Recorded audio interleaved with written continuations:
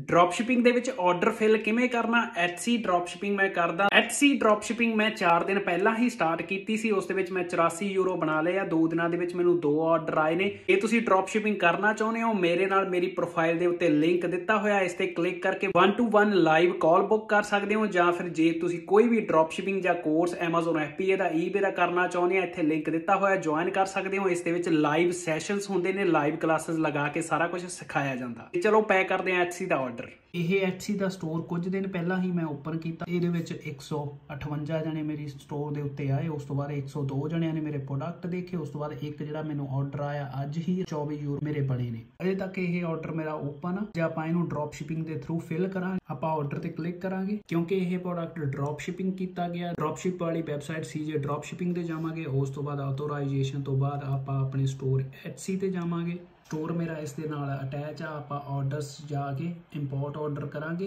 ਆਪਾਂ ਸਕੈਨ ਕਰਾਂਗੇ ਆਰਡਰ ਤਾਂ ਜੋ ਉਤਰਲਾ ਆਰਡਰ ਮੇਰਾ ਇਸ ਵੈਬਸਾਈਟ ਦੇ ਉੱਤੇ ਆ ਸਕੇ। ਸਕੈਨ ਕਰਨ ਦੇ ਲਈ ਮੈਂ ਆਪਣਾ ਸਟੋਰ ਸਿਲੈਕਟ ਕਰਾਂਗਾ, ਉਸ ਤੋਂ ਬਾਅਦ ਆਰਡਰ ਜਾਂ ਟਾਈਮ ਸੈੱਟ ਕਰਾਂਗਾ। ਆਪਾਂ ਸਕੈਨ ਕਰਾਂਗੇ, ਇੱਥੇ ਸਾਡਾ ਪ੍ਰੋਡਕਟ ਜਾਂ ਆਰਡਰ ਉਹ ਆ ਜਾਏਗਾ।